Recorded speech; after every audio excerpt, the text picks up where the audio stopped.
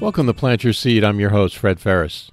On each episode, we share stories of how ordinary people have transformed their lives. Each story is compassionate, each story is authentic, and each story is a transformation. Here are the stories of the people who are changing our world by transitioning to a plant based diet. Today on Plant Your Seed, joining us from Canada, we have Margaux Khoury. Margaux is a founder of Vegan Businesses, a corporate advisor for ethical startups, and a speaker on animal rights, animal agriculture, environmental issues, and ethics. Welcome, Margaux. Hi, Fred. Thank you so much for having me on. Thanks for being here on Plant Your Seed. Let's start with your vegan journey. How and when did you transition to a plant based diet? I made the switch about 12 years ago now. Um, thinking back to that history, it's it's it's mind mind blowing. Actually, what's crazy is that I wasn't vegan before that, um, but I watched a documentary done by a, a friend uh, called Earthlings. Mm. And so for me, it did start with ethical reasons uh, for the animals, and then of course I found out about the amazing health benefits after that. So it's uh, yeah, that's how I transitioned. Can you take us back to that day you're watching Earthlings? What were you thinking and how did you feel? Oh man, yeah, it's uh, it, I haven't seen it since, only clips because I mean I I do watch um, we go undercover you know i watch uh, horrible things happening to animals but i do remember how it was feeling because i remember thinking how can humans do this Mm. How can we, you know, how how is it even possible? Uh, I also come. I have a lot of farmers in my family, so it made me um, not angry at them, but angry a little bit at the system and how mm. it's we've been conditioned to believe that this is the right way to be and live. What was it about Earthlings that made such an impact on you? Um, there was no way I could keep doing something that I knew was a massive injustice. Uh, and to me, there's no gray line with justice. It's either you're on the on the you know right side or the wrong side. And so uh, I lo- I had also uh, companion animals. We had rescue dogs. Um, I res- we rescue a lot of animals, and I wasn't living in alignment with my values if I'm going to continue paying for something that comes from abuse and um, violence and continue pretending that I loved animals. And I always say, you don't have to love animals to know that it's wrong what we're doing to them. What positive changes did you see both physically and mentally when you changed to a plant based diet? At first, um, to be completely honest, it wasn't, uh, you know, it wasn't the easiest switch back then, 12 years ago. Mm-hmm. Uh, didn't really know we were one of you know just like a lot of people listening probably um, both my partner and i both uh, ate a lot of animals. And we came from families that if you didn't have an animal product on your plate it wasn't considered a full meal. And so um, so the change was difficult at first and i didn't see many changes. I did it for the animals um, at first. But then i discovered the whole foods you know the the the fact that a ve- vegan isn't this new age thing that we need like you know alternative products or things like that to incorporate into our life um, even though Tofurky is amazing it's a good for transitioning or something mm. but that's all we had i felt i couldn't find anything else in eastern canada other than something like a Tofurky um, but i discovered that you know if we wanted to feel physically and mentally well and actually to thrive um, what I later uh, studied, what with the what the longest living humans, healthiest and longest living humans have in common, they thrive on whole food, plant based, and then I started doing like raw, uh, like cleanses and raw, and that is when I saw so many amazing changes because I literally cleansed my my body, my gut. Um, I there was you know years and years of abuse to our system affects how we absorb nutrients. And this is what's very important for people to understand is that if we're making the transition, it is important to look at how we're going to uh, help our bodies heal and then incorporate the whole foods in. Now, do you recommend cleansing your body or fasting, or wh- what do you feel um, is the best way to reset your gut microbiome? Yeah. Now I'm really careful here because there are a lot of fads out there. There are a lot of like, cleanses and things people pay like, you know, thousands and thousands of dollars for. And I don't feel that's actually necessary. I feel I feel it can be as simple as um, incorporating a, a, like first of all yes uh, fast is a beautiful way like if you're even drinking um, water or lemon water till noon for a week straight um, and then raw like raw is an amazing way to cleanse because you're getting the fiber and it's like flushing our system out juicing is amazing meaning uh, actually pressing our own juice mm-hmm. not just buying juice from the store but I will mention something that I did discover years ago throughout my journey is something called hydrocolonic therapy. And I'm not sure if you've heard of that, Fred, or not, but it's basically like a colon cleanse. Mm-hmm. Uh, lots of practitioners, like all over California for sure. You know, Massachusetts would have a, a, lot of practitioners. I was lucky to have one here in Eastern Canada. She was trained in Poland. Anyway, she it's it's a be- if you look up hydrocolonics, mm-hmm. um, it it it flushes the entire colon and things come out that that you know need to come out. And then i call that a clean slate. It's like a fresh canvas for a painter. Um, and then once that happens you can start from scratch and then incorporate the healing eat like lots of fermented food um, amazing for the gut microbiome. So there's, a whole, there's actually a whole cleanse I do take people on. Um, for my few clients that I still have, I don't do that full time anymore, but but it's a, a beautiful thing to watch um, because our everything improves. You know, you asked about the changes. It's like skin improves, hair improves, uh, mentally uh, less fog, like mm. better focus. Like I just, it's it's quite amazing when done properly. Um, and unfortunately and fortunately, this information is getting out, but, but unfortunately, we have to do that because the way we have been eating has been a mistake. Right. You know, a big mistake. You mentioned struggling. What did you struggle most when you became plant based? Yeah, that's a great question. Uh, well, literally dairy, by the way. Like dairy was a big thing for me because for, for everybody, most of the time they say dairy was difficult. But in terms of like how, like, you know, traveling, for example, uh, whenever we traveled at the time, it was quite difficult to find anything in a restaurant that isn't like um, just a salad or something very plain or French mm-hmm. fries, you know, mm-hmm. things like that.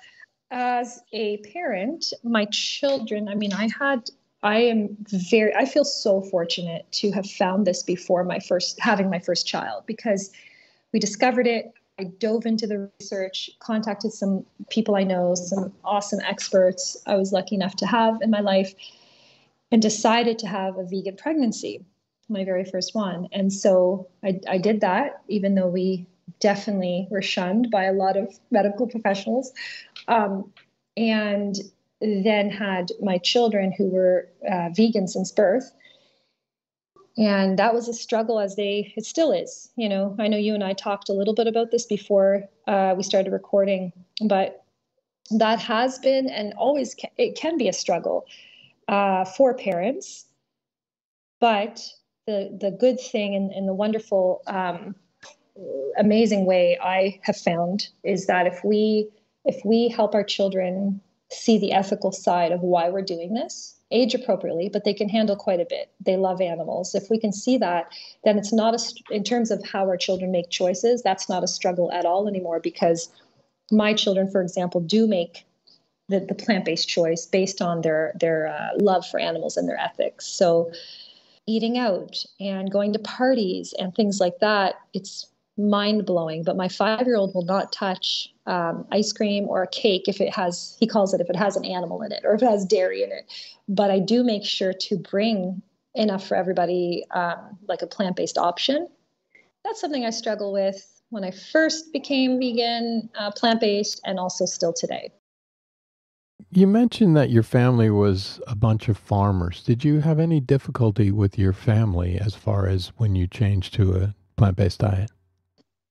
So, not everyone in my family uh, was a farmer, but we do have farmers in my family, of course. Um, people also who had their own animals.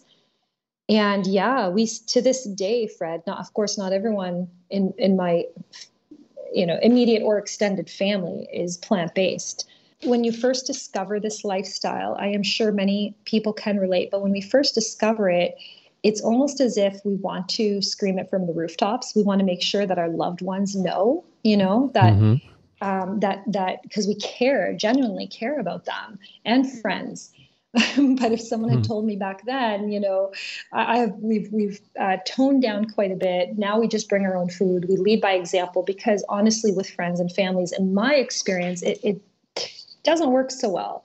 But I will say that three and a half years ago, so it's been 12 years for me. My husband transitioned uh, five years ago. Mm-hmm. So I lived with someone that long um, who wasn't vegan. And I actually did not force it on him as I don't know. I, I think I deserve an award personally, but but um, but it was I remember and and you know I'm glad it happened that year because I don't know if I could have gone on one more year. Yeah. But my my father three years ago went vegan, and he is he is quite uh, what you, you know, ex- not extreme. I don't want to. It's um, very particular and and more than me. He will definitely. He's very ethical. Um, and then my mother went plant based as well. Nice. And yeah, so it shows me that, you know, if we lead by example and do it healthy, be the thriving example, be beautiful and thriving and have amazing, you know, just just health, right? Like just walk and talk what we what we uh, preach, then I feel people in our life will change. I read where you said veganism is a euphoric awakening and also daunting and lonely. Can you hmm. explain mm. what you mean and give us some examples of why you feel this way? Oh, I rem- I don't know where you read that, but I I, can, I have said that before. Um, it is such an awakening. For me, it literally felt like I was breaking free from a system that, you know, a system of oppression. We are oppressing animals.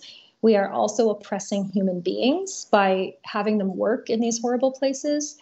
And furthermore, we're oppressing humans by taking literally taking food away from like we have enough grain and, and, corn and whatever, enough food to feed the entire world, yet we're putting it into animals' mouths uh, to feed us. Like it's completely unsustainable. And the animals are the middle people when we just go right to the, the plants. Um, so that is a liberating feeling, breaking free from that. But at the same time, we are still a minority, right? We're not, I mean, it's not, it's a non, it's a non-vegan world out there. Mm.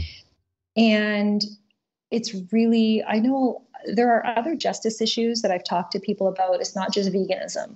Um, uh, so many other things where it's like the elephant in the room. We see it, we know it, but for some reason, there's a huge disconnect, and people still do it. You know, they're still they don't want to hear because they know how they know that um, they will feel so guilty and so bad about themselves. This is my theory. They don't want to hear it because they don't want to make these changes most of the time. But the, the other part of that, I know this from my nutrition training, is that these products are extremely addictive. These the the, the dairy, the eggs, and the and the and the meat. It's been documented. Mm-hmm. And it is literally like weaning ourselves off of it, like alcohol, like cigarettes. It's it's a it's a struggle. So we have all of that against us in a way. And so it's a very lonely place to be knowing this. But what we can uh, rejoice about and be happy with is the fact that many of us are uniting and we're finding our, our um, groups and our people that think like us, that live like us. And also, um, you know, un- unification is key. And, you know, we need, we need the, uh, I guess some people say, you know, why can't we just live, just be vegan, live it, and not talk about it? That's a big thing in our vegan movement, isn't mm. it? People say, you always mention you're vegan. It's not about that. You know, it's not like we don't have an agenda. It's just saying, look, you know, there is a compassionate way to live. And not just that, why would we do this to animals if we literally do not need one micro or macronutrient from them? Nothing. There's nothing we cannot get from a plant. So why are we doing it? Do you feel that people are offended by, say, vegans, quote, preachy vegans, because they themselves have to take a look at their values and their ethics and their morals and decide that maybe they're not as good a person as they believe they might be? Yes, I do, actually. That's a great question. And I absolutely do. And I will say that that people do they're inherently good. I mean, we are born as babies usually mm-hmm. wanting to do good and it feels good to do good. But when we have industries and huge corporations and the majority is still this way, we look at that and we say, "Oh, you know, I mean, the marketing from the meat, dairy, and egg lobby is so uh, powerful. Mm-hmm. It's it's still you know billions and billions of dollars going into convincing the public that this this you know animal flesh is healthy and that it's necessary. And so and they're paying for studies from you know all the time. They're paying to to have research done, right? And right to prove so their we, point. To prove their point, it's a big agenda. Yet, yet yes, that people do get offended because they don't want to realize that you know that they're somehow bad people for doing this and change. It's I really feel that you know they hold off on realizing it like I did. Like I really didn't want to believe it a little bit because it's so uh, intense. Actually, once you really discover the truth, whether it's a small, medium, or large scale farm, once you realize what is happening to the animal, there's like humane killing is a is a myth you know? Right. They have to they have to like the, the cow actually has to eat they have to bring some oats or their favorite treat and have it eat it. So so it doesn't know what's coming up you know the knife is coming. And so um once we realize that it's really a lot to sit with. It's a lot like you know what i mean? It's it's it's heavy.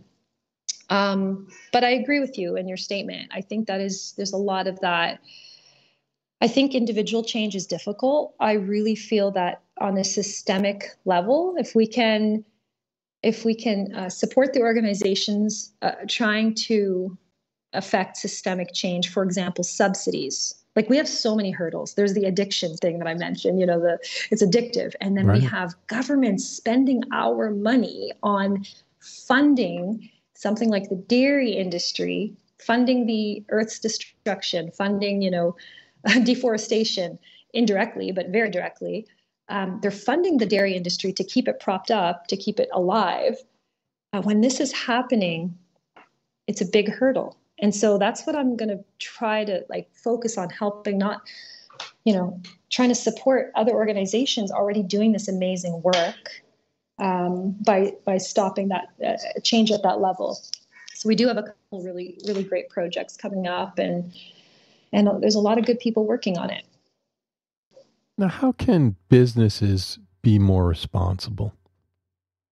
I do think it's businesses' responsibility. People do say, you know, it's our choice what we buy. We go into the grocery store, we vote with our dollars. That is very true. However, as a past and current business owner, it's a corporation and a business's responsibility to look at only offering ethical products no matter what that is a, a huge thing. As ex- it's more like just i'll give you an example. We had a company where we changed the packaging to 100% um, plastic free cardboard based you know biodegradable stuff. And mm-hmm. it was mm-hmm. more expensive on the company way more expensive because um, because plastic is so cheap. Right. And but you know ethically speaking it's what we had to do to set the standard and I think companies, if they took responsibility and found a way, it is difficult for companies, I, I recognize that. But in terms of not offering animal products, that's actually easy. It's really easy these days to just simply not, you know, to, to not destroy our planet and not hurt an animal. But again, it comes back to knowledge. People don't know. It's really as much as we know, like we've been in this movement. I'm not sure how long you've been vegan, Fred. About 10 years now. Yeah, exactly. So, you know, we've been in this a while. And for us, we're in the bubble, I call it. You know, we're always around it. We're like, you know, um, the internet feeds us information and things like that. Whereas I have to keep reminding myself that not everyone is fed that info, and there's a lot of people that don't know this yet. Now, we are the privileged few, the richer nations, and we have a responsibility to act accordingly. How can we change our habits so that we stop world hunger, stop the massive deforestation, and reduce emissions? I think that's such an important point. So, uh, this comes up a lot in conversation. I'm not sure if, if you hear this a lot, but in our everything that we do now with our work, it's like, wow, like it's so privileged to be vegan or to, to, to try to force that on others. Actually, the opposite is true. Because we are we have choices, we are privileged. Because of that, it is our responsibility to act and to choose the sustainable, the most sustainable things that we can. And uh, unbelievable, like like uh, yeah, there's so much to say on this topic, but I do feel it's our responsibility to make these changes our the nations you talk about, the most privileged nations in the world, are responsible for, um, I, I, would say, all of the, the destruction on Earth. You know, uh, corporations and of course fossil fuels, but animal agriculture at the scale and and grass fed too um, has been proven to be the leading cause of uh, everything the climate is experiencing right now. And I want to just mention a white paper, a position paper by Dr. Sailesh Rao. Mm-hmm. And Dr. Rao wrote, wrote, a white paper on animal agriculture and the environment, and it's amazing. It actually proves that all past numbers, even what the FAO put out and the pie charts, all those numbers have been grossly underestimated because of water consumption, um, you know deforestation like transportation of the animals that all should fall under animal agriculture. And it is it's it's a massive uh, thing. So i don't want to quote the exact number but it's over 80% uh, is what animal agriculture contributes to the current emissions you know the current number of emissions. So how do we change the disconnect that people have between the food they eat and the animals that are slaughtered? Yes, the disconnect. I'm not sure. Well, it's happened so that so the way I went vegan was watching this documentary. That that did it for me. And I do recognize that a lot of people will watch that, and I feel, you know, we try to analyze this in our think tanks, you know, in our in our in our um, brainstorming sessions. We're like, okay, like you know, why does this person watch this and not make any changes at all and just keep living the way they're living? Mm-hmm.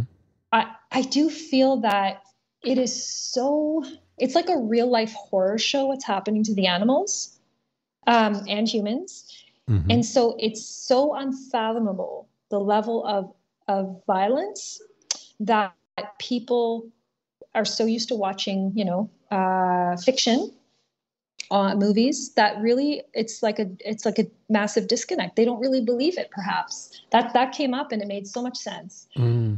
And so it's like such a disconnect. They just can't believe we're capable of this. And then I actually worked, um, I have a dear friend in Arkansas who is transitioning their farm right now and then to mushrooms.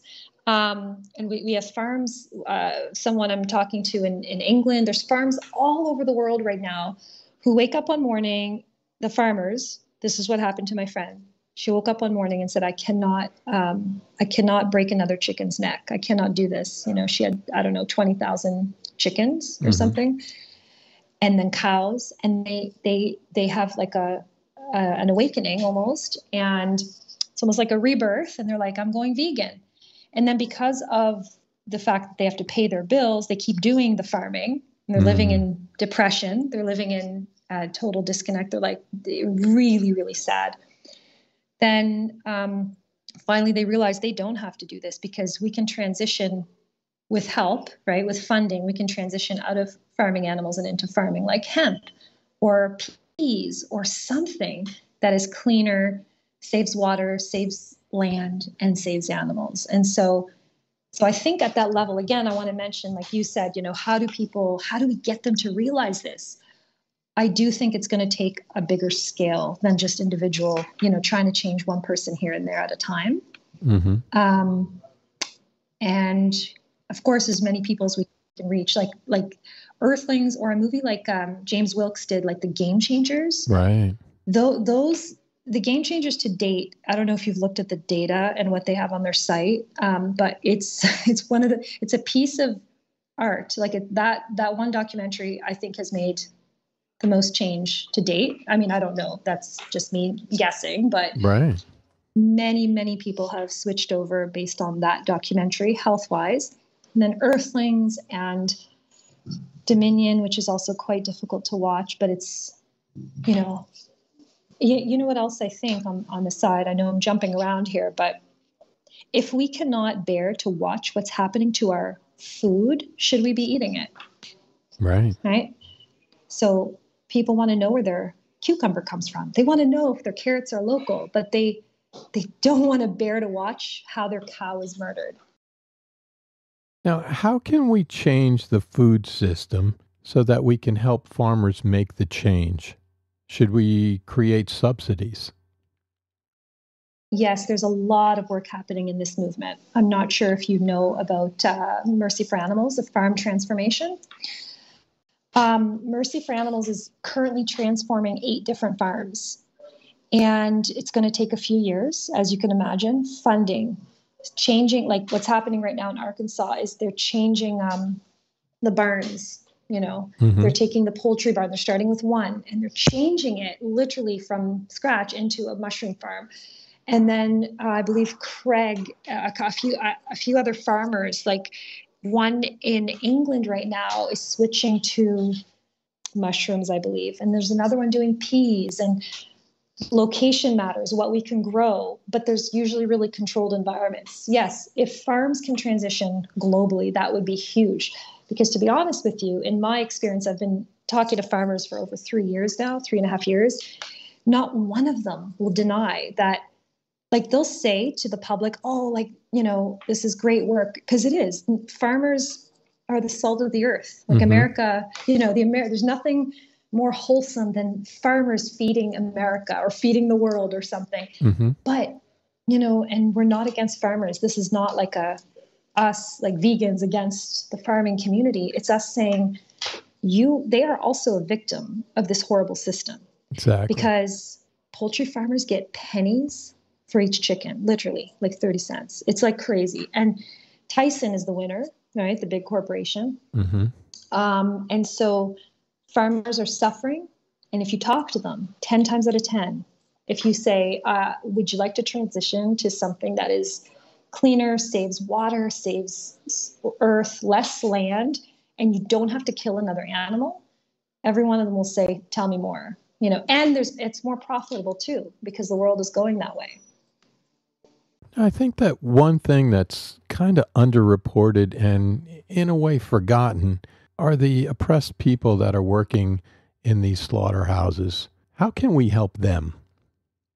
Yes, well, getting rid of making sure that we transition out of farming animals, stopping the subsidies. There's rising nation rising in Canada, and the Fairness Alliance, I believe, is in the United States. Um, but Nation Rising is doing an incredible job trying to trying to petition and also uh, creating documents that people can give their MLAs and government and politics and politicians showing them um, why we need to transition out of these subsidies. So that that's going to be the only way, in my opinion, in my experience, to help people working in these horrible conditions. So the statistics are, are mind blowing. Like the amount of um, PTSD coming out of factory farm workers, you know, when when um, they have trauma from killing animals all day, mm-hmm. and also I remember reading this, and I have not saved the actual literature, but I remember reading about um, the violence and the crime rate around areas where there are factory farms, mm-hmm. uh, domestic violence included, because a person's mind cannot be doing this all day and stay healthy. And it's a big issue. So that's one issue. And they're not paid well. I know in the United States they they they bring up people from from Mexico and, and all of these other countries to pay them pennies so they can make a bigger bigger profit. So they're making profit off the backs of these humans and off the backs of the animals, literally.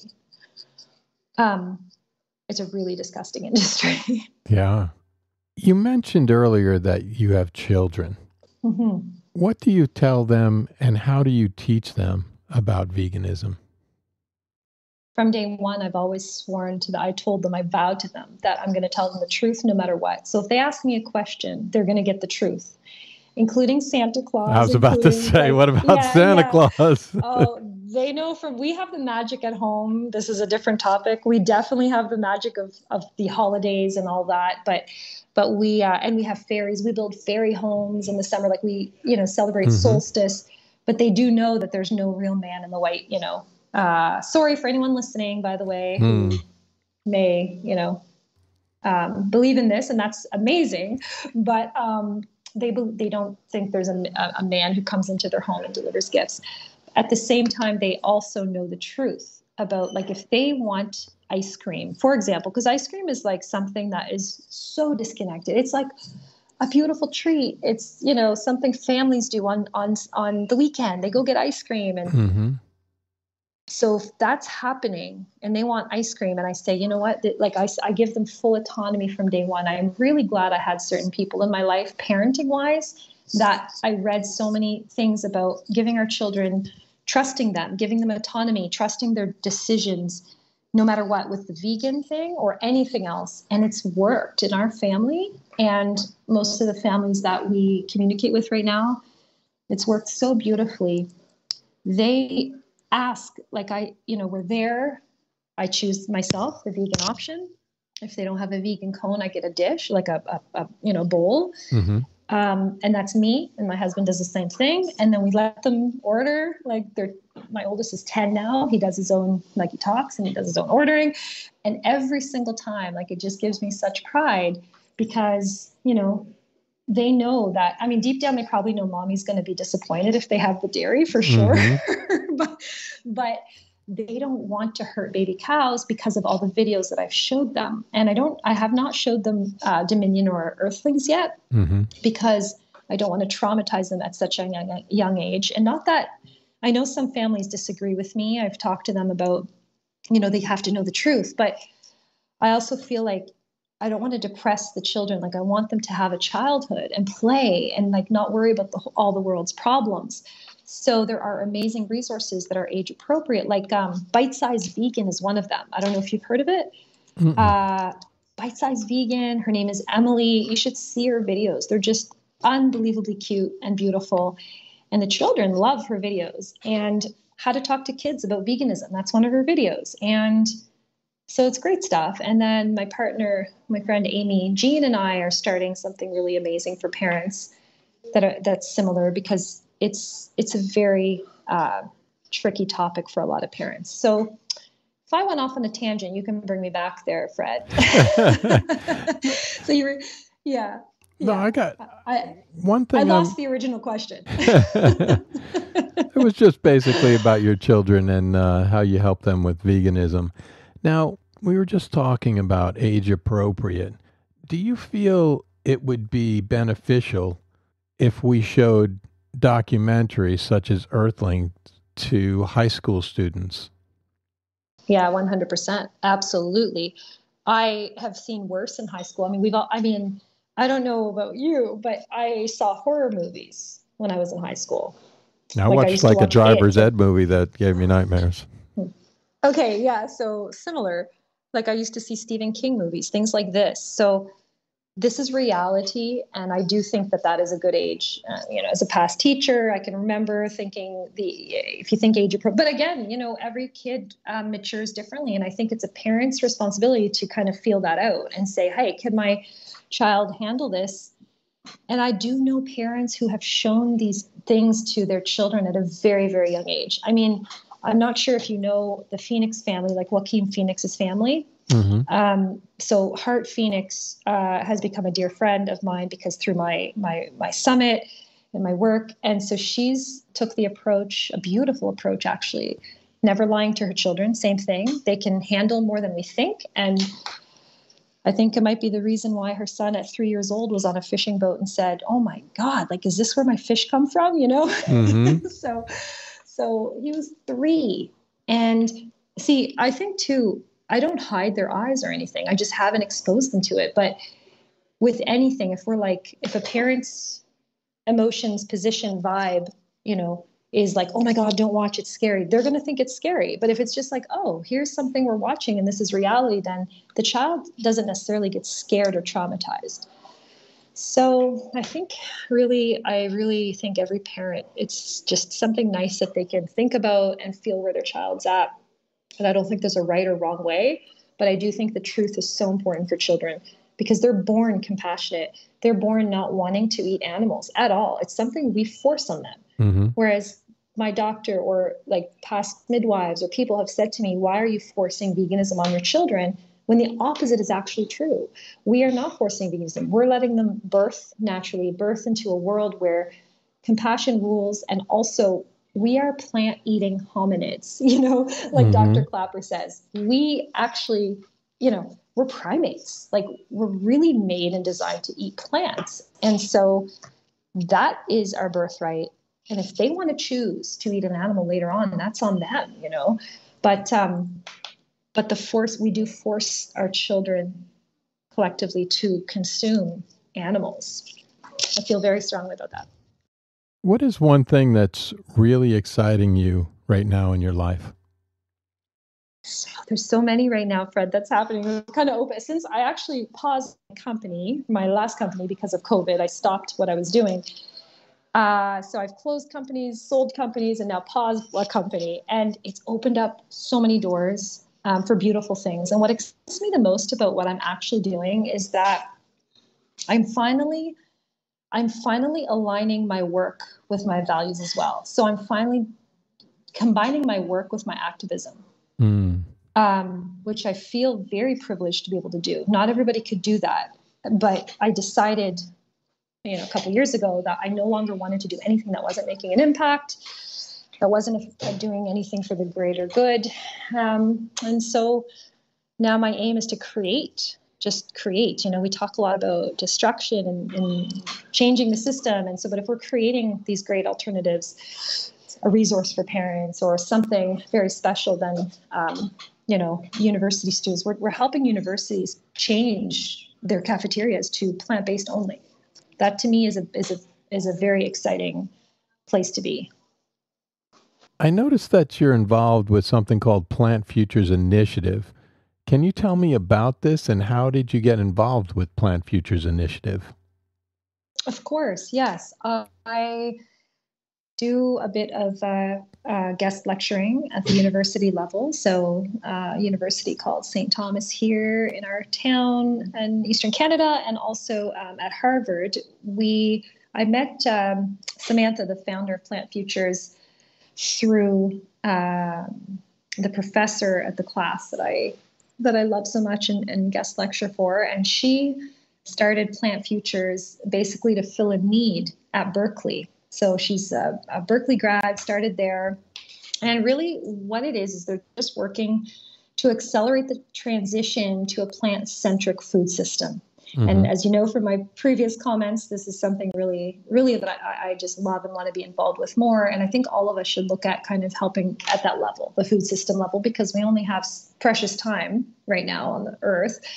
And basically, it ensures that students become leaders, like ethical leaders, mm-hmm. thinkers, advocates, plant-centric future, like all of the things that are amazing. It it's a basically acts Plant Futures Initiative work acts as a bridge between students and uh, corporations, and they have challenge labs uh, based like doing. Uh, they help students find internships with with uh, companies. I think it's such a great initiative and it's they have a chapter they have many chapters um, various universities you can go right onto their site plantfuturesinitiative.org and then look at like there's a chapter at berkeley at yale uh, i'm involved with with the plant futures as a whole but also specifically working with the students at harvard who are completely blowing my mind. They're just so amazing. They work they work throughout their summer, um, mm-hmm. extra time on helping with this movement. You said that it's a bridge between the corporations and the school. How does it work? Yeah. So they offer, there's a course. Actually, the Plant Futures Challenge Lab is a course offered for academic credit by UC Berkeley um, School of Business and um, also School of Public Health. And the Challenge Lab trains these students to be un, you know ethical, think to the future, um, instead of working for something that perhaps isn't making such a big difference, they're challenging them to find something that is making a massive impact. Com- really great companies like Meati, Amy's, um, and that's how it works. They're just training the future of humanity, basically. Um, and you can read about it again on the website uh, and just go to Challenge Lab. There's a lot of information there. What we're most excited about some of the chapters some of the students are really taking initiative. And for example one of the projects so we have a we have an incredible video project coming out. It's a video montage of so many incredible voices um, anyone from the esselstyns dr esselstyn dr klaper even voices from the community um, it's directly going to be sent directly to the white house Mm-hmm. Uh, be, it's be, right before their conference on hunger, nutrition, and health. They have an upcoming conference, uh, and it's the first time in 50 years the White House has ever done anything like this, opened up this conversation. So we really prioritized this project. We could not, uh, you know, not do it. we, mm-hmm. we put everything else on hold and decided to do this. So we're in the we're in the middle of getting all these recordings now from these incredible people, and um, and then we're going to just launch that. And then in the fall, we're planning a panel discussion with these experts as well, challenging Harvard first to go completely vegan because they claim to want sustainability and better for the earth, and they have courses coming out and so on. And so, how can we be serving meat, dairy, or eggs in the food halls when this, you know, goes against everything they believe? So, I think that's going to be a success. And once that happens, our hope is that other universities will follow suit and also change their dining halls.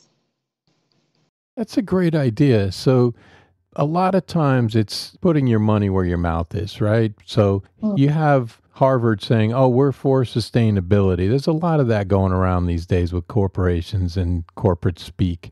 But now you're actually making them put their money where their mouth is. Exactly. Exactly. And um, recently, uh, there was a student led initiative to help the university divest from fossil fuels, and it was a success. So they, they agreed to do that. And so student led activism really works at these universities because the students are like the bread and butter of the university they are the they are the university and when families back these initiatives that's the approach we plan to take and of course, starting with any university is amazing. But when you have a university like Harvard, one of the best funded uh, campuses around, uh, it, it, it, does hold a lot of um, weight when you mention that. So, so we want to start there and then move on. And then there's other plans as well. It's not just at, at that level, but we want to really um, showcase that a plant-based diet is is we need to transition to that. Um, and offering students uh, meat, dairy, and eggs is not good for their mental health either or their ability to focus. And we have the research backing it, it's always evidence based. What is one habit or hack or tip or another way that helps you stay on track with your plant based diet? Uh, the animals. It always comes back to thinking there is a victim involved. And another thing, Fred, is we there is to this day not one person has been able to show me the literature on what we need from an animal. Every micro and macronutrient can be found in a plant. So we go to the source. What is it about animals that makes you so passionate? To me, the word uh, speciesism comes to mind because when, let's say, that you see a dog in the street being kicked or a child being hurt, would you turn around and, and like turn a blind eye? That's the same for me. There is no difference between, you know, of course, there's a difference between my child and a cow. People ask me this all the time. But, you know, for me personally, but I'm talking about in the grand scheme of things, mm-hmm. how the world works. We are not part of the food chain. You know, we are part of an ecosystem and we are we're not designed to kill the animals. And so the animals to me, it's like it's like hurting our own species and a cow feels pain a lobster feels pain a crab feels pain and so do fish by the way. Just because they can't show it or speak that doesn't mean they, they're not sentient. And that is what it is. It's how could we do harm when we don't need to do it right? To to like we love our pets. Would we ever watch a cat being tortured? I don't think so. That is what it is i think. It's it's that simple what cookbook, book, or documentary have you gifted or recommended most to someone transitioning to a plant based diet? The most I, I love She Glows still. I always refer that one. And I'm really excited to receive one from um, Jane and Ann Esselstyn. Actually, they they have a new book out with a, mm. just it's supposed to be for women, and I can't wait to get that book. Actually, um, there's so many. I say She Glows because it's easy ingredients. It, they're accessible. You know, they're not they're not anything we don't recognize, and so people really appreciate that. Yeah, I would say that one. I just made the uh, chocolate zucchini muffins the other day. yeah, delicious. yeah, they are. They're really good. Um, easy. they are. They're they're very yeah. easy to make. Exactly. Finally, can you give me one word to describe how you felt before you became vegan and one word to describe how you feel now that you are vegan? Yeah, you have so many great questions. Um, now, well, before I went vegan, I didn't know, right? I didn't like, you know, you only really feel or know something after the fact. Hindsight, I guess, is 2020, but I felt okay. So, are you talking about physically or like sort of like a feeling? Either you know, one. Emotionally. I mean, looking back now, emotionally, I did feel like trapped or like it wasn't in alignment with any of my values or morals. And today I feel liberated. It's euphoric, as I said. Um, and physically, yeah, I feel I felt you know heavy, drained. I was getting all this like, I mean, animal protein is terrible for us, right? Um, mm-hmm. Um, and now I feel lighter and cleaner and just um, all around happier. You know, it's a really great place to be. It's such a pleasure speaking with you. Thank you so much for taking the time. What is the best way for people to follow you on Instagram, the web, and social media in general? Yeah, so um, of course you can link my site, but um, I'm working on something called Rising Mothers right now. It's rising-mothers.com. That's the best place to find me right now. Thanks again, Margaux, for being on Plant Your Seed. Thank you so much for everything you do, Fred. I appreciate it. Hope you are inspired by this story, and remember, it's never too late to plant your seed. Links to everything we talked about on the podcast can be found on Instagram at plant.yourseed in the show notes tab in the bio. If you enjoyed the show, remember to leave us a review, and until next time, thank you for listening.